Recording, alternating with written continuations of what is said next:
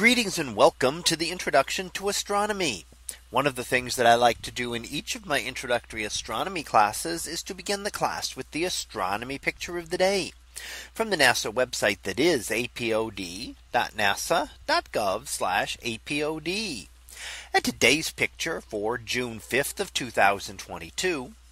Well, it is titled two black holes dancing in 3C 75. So what do we see here? Well, this is actually the central region of an active galaxy. An active galaxy is in many ways like an ordinary galaxy. However, it has a tendency to be much brighter and emitting more energy than a typical galaxy. And it emits a different type of radiation. Its radiation is what we would call non-stellar. It's not just the combined light of all the stars. There's a lot of higher and lower energy radiation that is being emitted. And that's what we're looking here in the blue we see X rays very high energy light. And in the pink we see radio very low energy light. And the, we're looking close to the center and we're seeing two supermassive black holes. Now, of course, black holes themselves are not visible, but we can see the accretion disks and the material around them as it begins to spiral into the black hole. That is what produces all of the energy and is in fact what energizes active galaxies is the black hole at the center.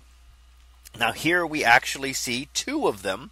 So there are two black holes and we can determine that they are actually bound together in an orbit. Now this could likely be because of two galaxies that combined. So we're looking at two galaxies combined together in the central regions. Their cores are now in the process of combining as well. And eventually those two black holes will merge together and give off a burst of gravitational waves. So very uh, intense energy of gravity that can be pushed off when two very massive objects combine. Now gravitational waves are actually produced by any object with mass that's moving. However, they are so weak that they're hard to detect. And the way we detect them now is through very massive objects such as these black holes when they merge together and we see the tiny distortions that they call that they cause within uh, our gravitational wave detecting instruments here on Earth.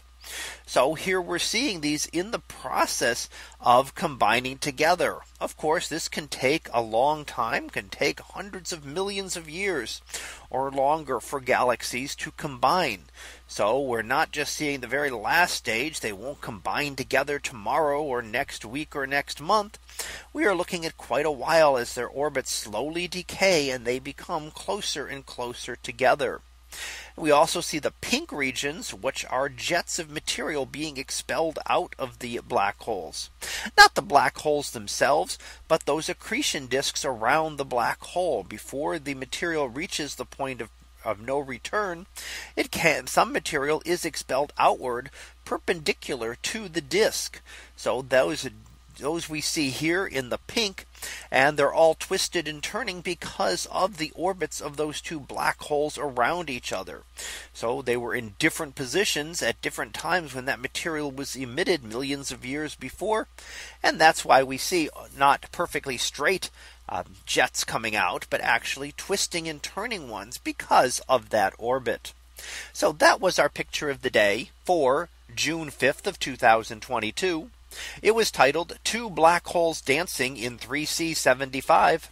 We'll be back again tomorrow for the next picture previewed to be Milky Way doomed. So we'll see what that is about tomorrow.